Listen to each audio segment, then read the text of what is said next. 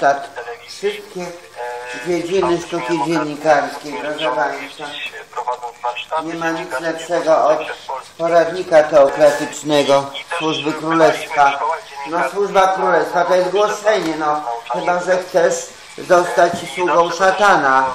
Sługa szatana to też jest coś. Z niedowierzaniem e, patrzyli na to, że, że uczelnia takie możliwości. No właśnie, jak Państwo oceniacie to, że, że, że uczelnia Patrzyli wychodzi z taką propozycją i tych warsztatów i, i, przyjęcia do, na takie warsztaty do siebie, teraz wakacyjne warsztaty tych wyjazdów w ciągu roku e, szkolnego, bo tak, bo one są proponowane jednak młodzieży, która trochę inny jeszcze ma kalendarz niż studenci. Jest to kluczowe, tym bardziej z tego względu, że, że wokół powiedzmy środowiska narosło sporo mitów, e, natomiast e, jest to okazja do tego, żeby sobie odkłamać troszeczkę tą rzeczywistość, bo sporo można powiedzieć, jak się nie wie. Natomiast e, takie myślę, że zderzenie z przedstawicielami e, i uczelni naszego środowiska i w takiej normalnej rozmowie na argumenty, jak i również e, no, poprzez zwykłe doświadczenie po prostu rozmowy z kimkolwiek e, z naszego środowiska, myślę, że bardzo może pomóc odkłamać trochę tego rzeczywistości i zobaczyć jak, jak jest naprawdę. Była też mowa o mani- manipulacji. No i myślę, że, że tutaj manipulacja to zbiera spore żniwo, że, że tak jak wspomniałem, no narosło sporo mitów, jednak rzeczywistość jest inna i to również pokazuje y, aspekt zawodowy, ponieważ bardzo często, y, bardzo często się zdarza, że właśnie nasi absolwenci są zatrudniani w, w wielu przedsiębiorstwach medialnych i częstokroć nie mają problemów ze, ze znalezieniem pracy. I to jest też taki, taki paradoks, że z jednej strony właśnie e, mówi się negatywnie częstokroć na osoby ze środowiska, a, a w rzeczywistości e, później się ich zatrudnia i, i oferuje pracę. Ale, ale jest, jest to spotykane też e, sporo, sporo znajomych naszych, naszych studenckich lat z branży dziennikarskiej e, świetnie sobie radzi, działają sobie, a częstokroć no, zajmują tytuły różne, różnych gazet czy, czy różnych stacji telewizyjnych i mają, mają bardzo dobrą opinię właśnie na temat siebie i swojego A jak e, przyjaźnie, bo pewnie na, na studiach też e, rodzą się, bo ma- znajdujemy nowych kolegów, przyjaźnie. Czy trwają do dziś? Nie Opinię. No my mieliśmy takie szczęście też, że no, akurat w naszym studenckim zarządkim no bez przerwy utrzymujemy przyjaźń, właśnie tak jak żona, żona wspomniała. E, I to jest też piękne w prawdziwej przyjaźni, że nawet dłuższy okres czasu nic tej relacji nie zmienia. I my mamy bezustanny kontakt z osobami z naszego, z naszego rocznika, jak i w ogóle z absolwentami uczelni. E, No i myślę, że to są takie przyjaźnie autentyczne na, na całe życie e, i bardzo sobie to właśnie cenię. E, Też myślę, że przez, przez lata studiów udało się również i zaprzyjaźnić z wykładowcami. To jest też bardzo ważne, jak ojciec wspomniał, tej relacji e, uczeń-mistrz. E, Natomiast w pewnym momencie, jak już e, człowiek też osiąga dojrzałe życie, opinię. e, Proszę Państwa, e, proszę Państwa.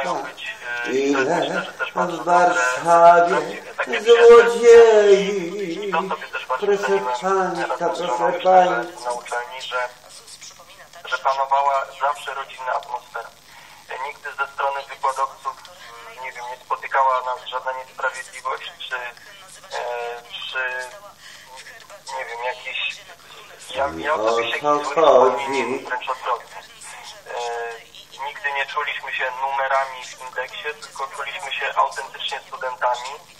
E, i, I to niesamowicie poprawiało również komfort e, studiów, jak i też zachęcało do nauki. Bo właśnie myślę, że przebywanie w takiej normalnej relacji e, uczeń-mistrz stwarza dużo lepsze warunki również do studiowania. Przez to e, no, wszyscy zyskują tak naprawdę, bo zyskują i e, i, i wykładowcy, i, e, i studenci, i uczelnia, no i później rynek pracy finalnie. Także jeśli o to chodzi, to, to, to, to bardzo dobrze również, również wspominamy i możemy to Pa, panie Mateuszu, jakieś pytanie do absolwentów? Pan też? O, z przyjemnością, z przyjemnością.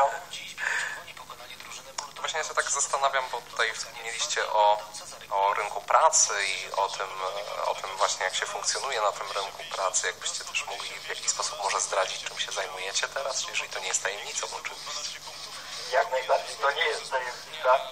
E, Ja aktualnie e, pracuję w branży IT, e, natomiast żona e, zajmuje się chyba najbardziej odpowiedzialnym i najbardziej Ona jest zawodem, mama. E, Aktualnie właśnie żona zajmuje się opieką czwórką dzieci i e, doświadczenie życiowe pokazuje nam, że jest w zasadzie taki układ jest, jest najbardziej em, owocny i produktywny również dla rodziny, ponieważ e, no jednak opieka nad, nad czwórką dzieci wymaga na tyle dużo pracy i poświęcenia, że jeżeli oboje byśmy pracowali zawodowo, to myślę, że finalnie em, byłoby to ze szkodą e, albo dla pracy, albo dla rodziny. Natomiast w tym wypadku jak najbardziej byłoby to szkodą dla, dla, No tak dla który pracę wykorzystujesz bardzo dużo wiadomości i umiejętności, które przyswoiłeś w tym uczelni. Mimo, że to nie jest stricte branża dziennikarstwa. Tak, tak, tak. właśnie tak, praca menadżera to idealnie. Jak najbardziej. No, akurat choć, choć pracuję w branży IT i e, nie pracuję jako programista, nie, kończyłem kierunków technicznych, natomiast no, akurat, e, akurat moje stanowisko wymaga bardziej takich zdolności miękkich.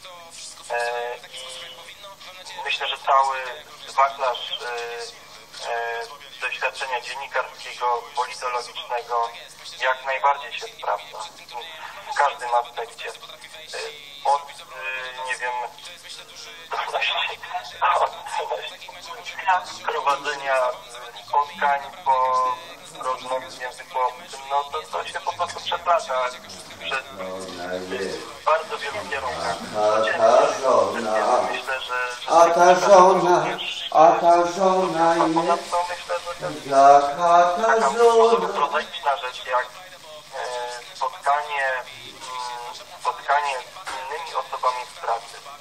mamy, ni- nigdy nie mamy takiej gwarancji, że znajdzie, znajdziemy się w środowisku pracy z ludźmi podobnego kręgu em, podobnego kręgu em, Wartości na przykład, tak? wartości, o dokładnie tego słowa brakowało. I, I myślę, że to też jest ważne, żeby umieć z tymi ludźmi rozmawiać i również e, ewangelizmować. To jest, to jest ważne, żeby również mieć warsztat do tego, żeby taki odpowiedzialny, roztropny, umieć z ludźmi rozmawiać e, też na te trudne, często egzystencjalne, moralne e, tematy. E, I to też myślę, że jest, że jest duży komfort, że, że uczelnia również i, i taki, taki warsztat Przygotowuje do, do, do, takiego, do takiej komunikacji, takiej relacji, która jest dla Was tutaj normalna i naturalna. No to gratulacje, bardzo dziękujemy. Pozdrowienia i dla, dla, dla Pani, y, tak, i Julia, tak, Julia i Wojciech i dla czwórki dzieci. Hania, Staś, Je- Jeżeli możemy też skorzystać z okazji pozdrowić, to, z całego serca też pozdrawiamy rodziców w Krakowie, e, rodziców e, teściów, Krzędzicach pod Zawiatem i jednocześnie też prosimy o modlitwę za, za teścia, który jest aktualnie chory, teścia Janusza. E, jeżeli możemy aby zrobić pamięć w modlitwie, e, ta będzie żona. Dobrze, bardzo dziękujemy.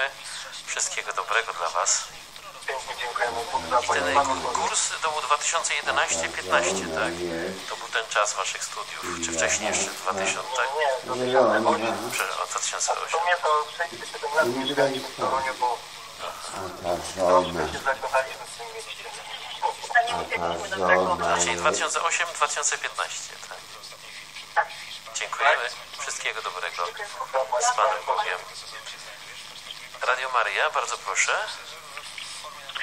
Niech będzie pochwalony Jezus Chrystus. Na wieki wieków amen. E, Mówi Błażej, ubiegłoroczny absolwent informatyki Wes Kasim. Serdecznie pozdrawiam czcigodnego ojca Grzegorza, gości, w szczególności pana magistra, przyszłego doktora Mateusza, z którym przez chwilę udzieliłem. Jak to? Pewnie, tak miło mu uśmiecha się serdecznie. Tak, słyszycie się. Patrzę na Pan, panie Błażeju, od tej wizualizacji świątyni, Tak, or, tak. tych or, organów, które tak, no przynajmniej trochę w wyobraźni nam rosły e, wtedy, a teraz już pięknie grają. Patrzę na zachmurzone niebo nad bydgoską ziemią, słucham i pomyślałem, że w perspektywie tematu naszej uczelni, no, absolwentów, mógłbym krótko opowiedzieć swój ostatni etap w uczelni, weryfikację w stosunku do rynku, dobro studentów płynące z ostatniego mojego roku. No i taką historię chciałbym opowiedzieć przez pryzmat y, szeroko otwartych oczu. I teraz mm, uczelnia stwarza warunki do kompleksowego rozwoju poprzez wartości takie dodane jak na przykład sympozja i osobistości, które na tych eventach goszczą. Ale wszystko też zależy od studenta. Co, gdzie zaczerpnie, jak przełoży na swoją przyszłość. Ja na przykład odnalazłem siebie przy cyfrowej budowie naszej świątyni pod wyzwaniem Maryi Gwiazdowej stabilizacji świętego Jana Pawła II. Za zgodą ojca dyrektora Jest takie, wiecie że to mija, to mija, ale to jest taka moda mówienia świętego Jana Pawła II. No, w kontekście biblijnym, jak jest powiedziane, że abyście na nikogo nie nazywali świętym, nie wołali świętym, nie nazywali świętym, no to o co, o co tu biega? Jednym z miejsc pokazu było y, grudniowe, były grudniowe urodziny Radia Maryja. No, z racji na chorobę toksykozy oka musiałem tak zorganizować czas pracy, aby skondensować jak najwięcej w czasie. Pomimo tego tworzenie wyniosło dodatkowe 2,5 roku. O co tu chodzi? Wieczny student. Ale widział, wiedziałem, Proszę że to jest bardzo proszę która zaprezentuje na Państwa, przyszłość. No i tak się stało. W końcowych etapach otrzymałem od kierownika naszej yy, Proszę katedry informatyki, proszę profesora Stokowskiego Państwa, yy, oraz doktora yy, Hanieckiego możliwość prowadzenia obliczeń na klasach w Politechnice. Proszę Państwa, Yy, proszę Państwa, proszę Państwa, Która nosiłą rzeczy. Rozwój. Musiała być związana z A, a, a. intelektualną Proszę Państwa, proszę Państwa, kierownik może być czasem pijakiem. Proszę Państwa, proszę Państwa, proszę Państwa, może chodzić okrakiem. innowacyjnym projekcie Proszę trenażera Państwa, proszę Państwa, trzeba, proszę Państwa. Ale przez ten chodzi. za zgodą przełożonych zbudowałem tak otoczenie, że za współtworzącego projekt no, mam kolegę absolwenta z WSK SIM. Natomiast drugiego transferuję nie jest łatwo z powodu tam jego spraw osobistych. Chciałbym, ponieważ dobry specjalistą po naszym uczelni. Wydaje mi się jednak, że zima to jest ten czas, kiedy przyjdzie finalizacja. Minął rok, ale cały czas myślę o środowisku, z którego wyrosłem. Dlatego w sierpniu obecnym y, roku zostało mi jakby dane, kończyć pewien taki plan, który nosiłem w głowie, y, umożliwienia praktyk miesięcznych dla naszego obecnego studenta z trzeciego roku informatyki. Tutaj również szeroko otwarte oczy, ale w inny sposób. Dla mnie teraz jako obserwowanie studentów informatyki, którzy wykazują zdolności, ale także tych, którzy mają chęci, natomiast szukają swego ja na rynku. Mam świadomość, że tam wirtualna rzeczywistość jest to na przykład taki dział informatyki, który nie jest aż tak bardzo dostępny dla studentów, bo trzeba mieć dobry komputer, stacje bazowe, manetki, przetworniki, analizowanie obrazów i okulary 360 stopni.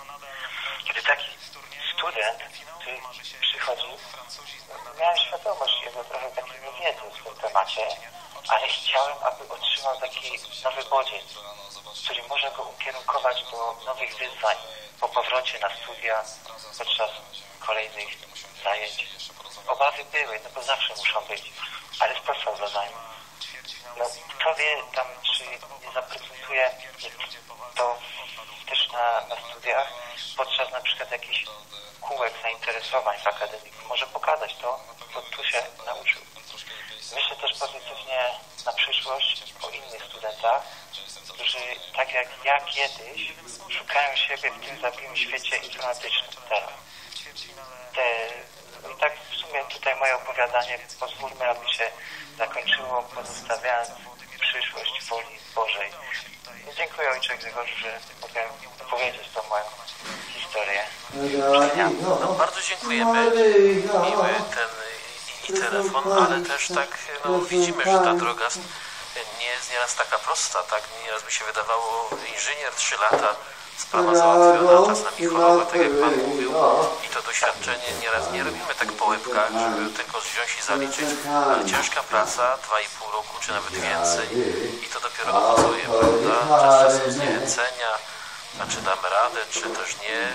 Wielu pytań, na, na które też no, sami sobie chcemy odpowiedzieć i, czuję, i szukamy kogoś, kto nas wesprze, kto nas nie zostawi tak, tak można powiedzieć, na przysłowiowym lodzie.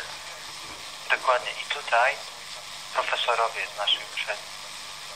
To jest osoba, która do, do której można przyjść, to jak na przykład do, do ojca swojego, powiedzieć o problemach, powiedzieć o jakichś obawach, zawsze jest wysłuchanie, zawsze jest jakaś merytoryczna pomoc. Bardzo dziękuję. Panie Mariuszu, tak mieliście też to doświadczenie. Pan Błażej wspomniał, że, że Ja na bieżąco, że tak powiem, czasem śledziłem wyniki pracy Błażeja, bo często tam chwalił się też w pokoju nawet, pokazywał, zobaczcie chłopaki, co mi się udało osiągnąć, co już zrealizowałem, co już zrobiłem. Naprawdę fantastyczna praca i widać było ten wzrost, e, wzrost tej pracy i to zaangażowanie no, człowieka w taki projekt, który, który naprawdę na mnie osobiście zrobił wrażenie wow. Panie Błażeju, czapki z głów, tak? Dziękuję Mateusz. Dziękujemy bardzo. Wszystkiego dobrego. Dziękuję. Szczęść Boże. Bóg zapłać. Szczęść Boże z Panem Bogiem. Z Panem Bogiem. E, Może na, na kanwie tych właśnie dwóch, dwóch, e, dwóch e, telefonów absolwentów. Proszę bardzo. Może Ja może tak tylko powiem takie słowa księdza Jana Twardowskiego w oparciu tutaj o, o, o wypowiedzi byłych absolwentów. Bardzo myślę mądre i takie, takie wymowne, że w życiu musi być dobrze i niedobrze, bo jak jest tylko dobrze, to jest niedobrze. Dziękuję. Panie E, Ja tak pomyślałem właśnie, bo tutaj przebijał się ten rynek pracy. Ja też w jakiś sposób się zajmuję tym rynkiem pracy, badaniem rynku pracy. E, I często mówi się o tym dzisiaj, że kwalifikacja, kompetencje to nie jest to samo. I tak faktycznie jest, bo zdobycie kwalifikacji to jest sam dyplom. Posiadasz dyplom. E, To jest tylko papier. Papier może mieć dzisiaj w zasadzie każdy. Kluczowe jest to, jakie posiadasz kompetencje. E, I uczelnia faktycznie tutaj e, było wspomniane o kompetencjach miękkich w zarządzaniu, na przykład chociażby e, pan, który jest menadżerem aktualnie w branży IT. Błażej wspomniał o tych kompetencjach też z zakresu IT, programowania, jakiejś wizualizacji, grafiki, tej wirtualnej rzeczywistości i oni faktycznie ja też widziałem, szczególnie u Błażeja, ten, ten progres tej jego pracy E, i uczelnia daje takie możliwości, że, że kiedy wychodzisz z tej uczelni, to nie posiadasz tylko dokumentu, nie posiadasz tylko dyplomu ukończenia studiów pierwszego, drugiego stopnia, studiów podyplomowych i tak dalej, całego tego szerokiego wachlarza, jaki uczelnia daje, ale faktycznie posiadasz kompetencje, które stawiają Ciebie w dobrym świetle na rynku pracy. I to jest, to jest niezwykle istotne nawet już nie z takich względów finansowych, że, że pójdziesz, będziesz dobrze zarabiał, ale też po prostu masz niezwykle wielkie umiejętności, które, które pozwalają e, być postrzeganym przez pracodawców jako, jako człowiek dobrze wykształcony, jako człowiek, który posiada umiejętności, który nie tylko posiada dokument, który nie tylko dobrze się prezentuje na rozmowie kwalifikacyjnej, ale też potrafi dać z siebie bardzo dużo, szczególnie takiego właśnie zaangażowania i tych umiejętności, które nabył w trakcie studiów. Dziękuję. Proszę bardzo, Radio Maryja. Niech będzie pochwalony Jezus Chrystus i Maria zawsze dziewica. Teraz i zawsze. Mam na imię Bogdan, jestem z Torunia. E, e, Jestem ubiegłorocznym absolwentem Wyższej Szkoły Kultury Społecznej i Medialnej. E, Będzie kierunek retoryka i komunikacja społeczna. I chciałbym tutaj podzielić się wielką radością, no to, że mogę tutaj e, wypowiedzieć się i pozdrowić ojca Grzegorza i, i profesorów. Akurat z tymi profesorami, wykonawcami nie miałem wykładów, ale miałem e, e, z panią rektor, która była e, w telewizji kilka godzin temu i e, ma nawet pod jej kierunkiem pisałem e, pisałem, e, przygotowywałem pracę dyplomową na temat Wesela Wesel, takiego stowarzyszenia ruchu Wesela Wesel, gdzie e, mogłem przybliżyć e, to stowarzyszenie, ten projekt cały, który już trwa 25 lat i właśnie 24 właściwie, bo e, 24 e, Stowarzyszenie Wesele Wesel zrzesza małżeństwa, które rozpoczęły swoje życie sakramentalne weselem bezalkoholowym i e, jest to fantastyczny projekt, e, który e, po prostu przygotowuje rodzinę i, i pomaga rodzinom w życiu uprzejmości, tak najogólniej mówiąc, ale to jest tylko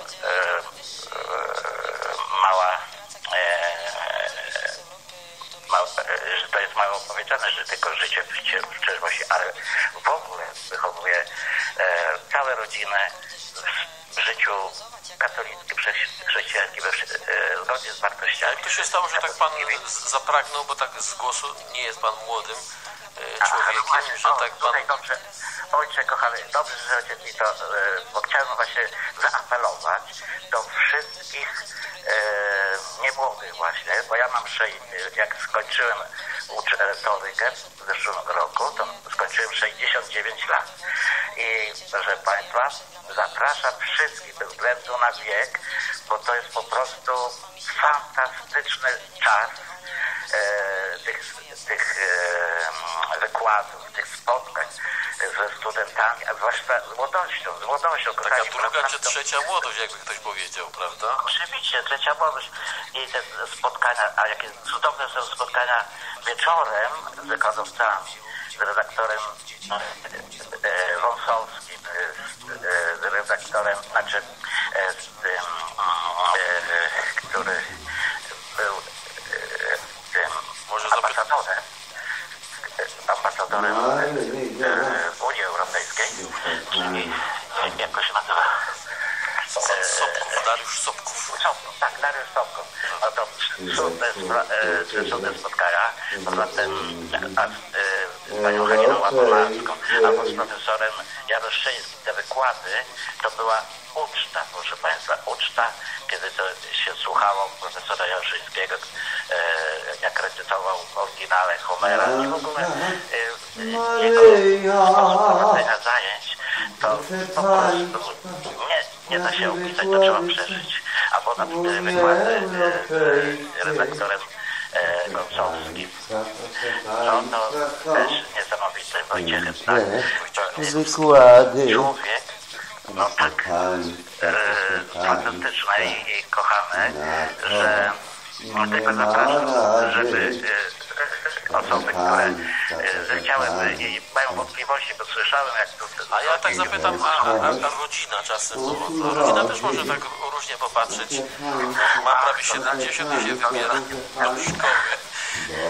Mnie to było tak, że e, kochanych moich, e, kochanego mojego ojca, Grzegorza, e, było tak, że mój syn, 26-letni, Jasiu, akurat w zeszłym roku skończył Akademię Muzyczną, dyrygenturę, a ja skończyłem właśnie tą retorykę. I, i po prostu była radość, się dziwią, co ten tata wyrabia, że jeszcze mu się bo my chcieliby może mnie e, no, gdzieś tam w fotelu a ja e, e, wykorzystując właśnie wiedzę i tą pewność siebie, którą, no pewność siebie, to, e, siebie. no taką powiedzmy promo, e, e, no, młodość, prostu, nową energię, bo taki, takie spotkania e, przez cały rok e, w cudownym gronie, czasem cudownym jest towarzystwie, głupia. napełniają człowieka e, nie tylko wiedzą, ale taką jakby energią. I no I to- już zaangażowałem się właśnie na niwie trzeźwości, bo, e, bo to e, zbiegło się znowu z 30-letnim darem abstynencji u mnie, więc jeszcze bardziej się zaangażowałem właśnie chcąc, chcąc oddać Matce Bożej Pięknej Miłości, ten, bo od niej jej zawdzięczam właśnie ten dar 30-lecia właśnie obchodzę w tym roku, 30-lecie e, daru abstynencji. I zaangażowałem się w ten apel konferencji episkopatów polskich 100 dni trzeźwości, 100 dni abstynencji na stulecie e, niepodległości. I prowadzę taki, mm, taki e, audycję no, bo na Facebooku, 15-minutówkę taką, 5 minut mówię o, o trzeźwości, 5 minut przybliżam.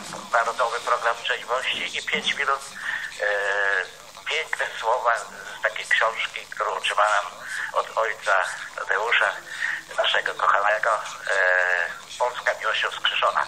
Tam są tak piękne teksty, i tak się uzupełniają te, te, te, te moje pięciominutówki, że po prostu zapraszam. Codziennie o 6.54 od, zacząłem od 4 e, sierpnia, a skończę 11 listopada takie spotkania, zaproszenia ludzi e, osoby, które zechcą mi towarzyszyć w abstynencji e, właśnie z okazji e, tej, tego stulecia niepodległości. I kochani, nawet jeżeli już nie będzie tych 100 dni, pozostało jeszcze 60 niecałe dni, zapraszam każdego, żeby poświęcił te kilka dni abstynencji i skorzysta na tym nasz, nasza ojczyzna i ta osoba skorzysta e, sama i po- sama dla siebie i dla rodziny i pokaże, że jednak można być, żyć w abstynencji. Jak ja mogłem żyć w abstynencji przez 30 lat, to można i przez kilka dni, prawda? I warto, e, jest fantastyczny właśnie ten program, e, znaczy pro, program... Panie, narodowy panie program, Bogdanie, bar, bardzo dziękuję. E, Pozdrowienia dla, dla syna, dla, dla rodziny. Też tak powiem, no tutaj trochę nawet e, stajemy się odważniejsi do promowania różnych inicjatyw społecznych, a nawet swojego trochę, e, prawda, dorzucimy. Ja może y, na początek jeszcze podzielę zachwyt Pana, właśnie jeżeli chodzi o studiowanie. Uważam, że te studia to tak naprawdę studia na każdy wiek. E, I gratuluję tego wyboru e, i tego, że Pan wciąż się inspiruje, tak? że, że wciąż działa. I Jest to niesamowite świadectwo dla wielu ludzi i myślę też, że, że dla wielu młodych. Także bardzo, bardzo gratuluję. Jest to tak zwane zejście z kanapy, o którym papież Franciszek wspominał. Założenie butów i, i ruszanie naprzód przed pan siebie wiek. Tak. Drodzy Państwo, dziś e, temat studia, wiedza i wi- wizerunek. Nasi goście w studio, pan dr Paweł Adam Makowski, wykładowca Wyższej Szkoły Kultury Społecznej Medialnej w Toruniu i, wykładowca Uniwersytetu Adama Mickiewicza w Poznaniu, komunikacja, dyplomacja. Mm, Pani Magdalena Bąbelek, absolwentka studiów podyplomowych, retoryka i komunikacja społeczna w naszej uczelni, pan magister Mateusz Kaleta, wykładowca i też y, absolwent dziennikarstwa i komunikacji społecznej. Podejmuje tematy właśnie na uczelni jako wykładowca komunikacja społeczna, organizacja zarządzania, ekonomia. Y, Zapraszam, mamy jeszcze ponad pół godziny. Telefony do studia do Radia Maria 56 655 23 55, y, drugi 56 655 23 56. Telefony w naszej rodzinie 536 600 100 i 536 600 200. Dla słuchaczy z zagranicy 48 56 655 23 33 i 48 56 655 23 66.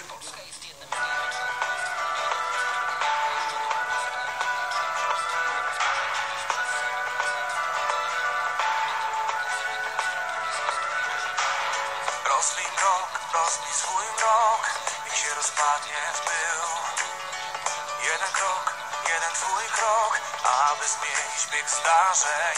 To fauna z kraju dróg, byś zdecydować się mógł. Czy w prawy, czy w lewy próg, dziś uderzyć, z czym się mierzyć. Jak żagle wiatr przyszła właśnie ta siła Przenika ciało na wskroś Horyzonty są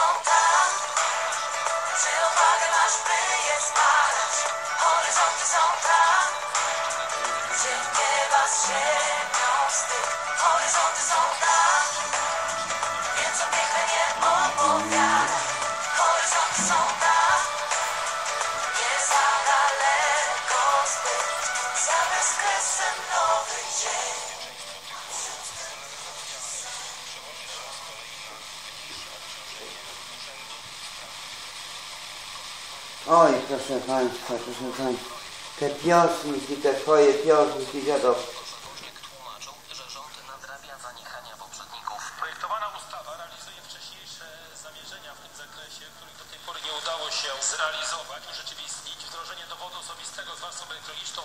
W planach informatyzacji państwa w latach 2007-2010. Poparcie dla dokumentu deklaruje również opozycja. Grzegorz Raniewicz z Platformy Obywatelskiej pytał jednak ministra o bezpieczeństwo korzystania z dokumentu. Ten dokument w rękach osoby niepowołanej jest bardzo niebezpiecznym narzędziem. Trzeba go jak najszybciej deaktywować. Jak ta osoba będzie potwierdzała swoją tożsamość, kiedy będzie chciała ten dowód deaktywować? Przez internet, nie mając tego dowodu i nie mając możliwości potwierdzenia, że ja jestem tą osobą, która jest prawowitym właścicielem tego dowodu.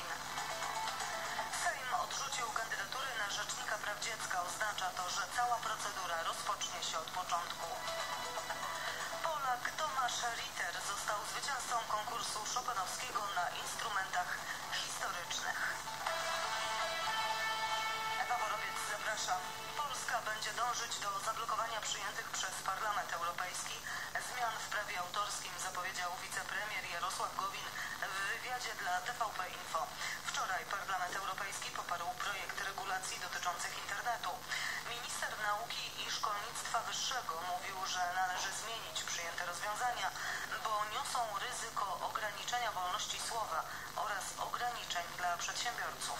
Będziemy się starali zablokować. W jaki sposób? No, będą jeszcze decyzje Komisji Europejskiej, będą decyzje Rady Europejskiej. Na pewno nasz rząd będzie starał się wpłynąć na to, żeby albo ta dyrektywa została uchylona, albo żeby jej kształt dla przedsiębiorców, może powiedzmy, że dla tych pożyczkowców, co te lichwę biorą, wiesz.